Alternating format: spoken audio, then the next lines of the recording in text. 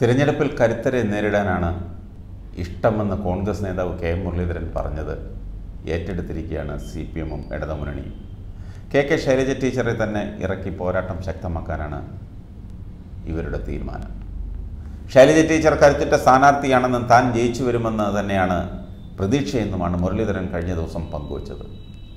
ലോക്സഭാ തെരഞ്ഞെടുപ്പിൽ K K Shailaja വടകരയിൽ നിന്ന് മത്സരിക്കുമെന്ന റിപ്പോർട്ടുകൾക്കിടയിലാണ് മുരളീധരന്റെ പ്രതികരണം വന്നത്. സി പി എമ്മിന്റെ സ്ഥാനാർത്ഥിയെ തീരുമാനിക്കേണ്ടത് അവരല്ലേ? എനിക്കെപ്പോഴും നല്ല കരുത്തരോട് നേരിടാനാണ് ഇഷ്ടം. ടീച്ചറാണെങ്കിൽ നല്ല കരുത്തുള്ള സ്ഥാനാർത്ഥി തന്നെയാണ്. സ്ഥാനാർത്ഥിയെ സി പി എം തീരുമാനിച്ചോട്ടെ. നല്ല മത്സരത്തിലൂടെ തന്നെയാണ് ഞാൻ ഇതുവരെ ജയിച്ചു വന്നിട്ടുള്ളത്. തോറ്റിട്ടുള്ളത്. അതുകൂടെ കൂട്ടിച്ചേർക്കണമായിരുന്നു മുരളീധരൻ. നല്ല രീതിയിൽ തന്നെ മത്സരം നടന്ന് ജയിച്ചു വരാൻ കഴിയുമെന്ന പൂർണ വിശ്വാസമുണ്ടെന്നും മുരളീധരൻ പറഞ്ഞു. വയനാട്ടിലെ വന്യമൃഗങ്ങളുടെ ആക്രമണത്തെക്കുറിച്ച് മുരളീധരൻ പ്രതികരിച്ചു. വന്യമൃഗങ്ങളിൽ നിന്ന് ജനങ്ങളെ രക്ഷിക്കാൻ സർക്കാരിന് കഴിയുന്നില്ല. കർഷകർക്ക് കൃഷിപ്പണിയെടുക്കാൻ കഴിയുന്നില്ല. വന്യമൃഗങ്ങളെ സംരക്ഷിക്കണം എന്നതൊക്കെ ശരിയാണ്. പക്ഷേ മനുഷ്യൻ ജീവിക്കുന്നിടത്ത് വന്യജീവികൾ വന്നാൽ ആ വന്യജീവികളെ കൂട്ടിലടയ്ക്കാനോ ആന വരുമ്പോൾ അതിനെ പിടിച്ച് കുങ്കിയാന ആക്കാനോ ഒക്കെ ശ്രമിക്കേണ്ടതല്ലേ?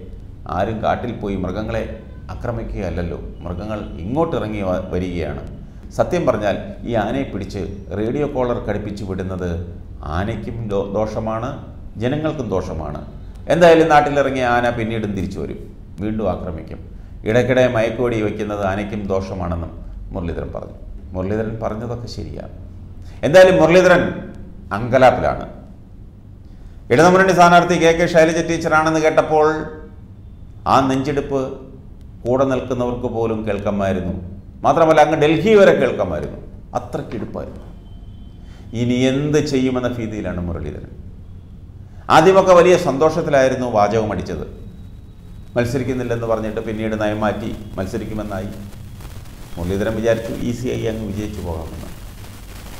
മുരളീധരനെ വെള്ളം കുടിപ്പിക്കും ശൈലജ ടീച്ചർ. ഒരു സംശയവും വേണ്ട.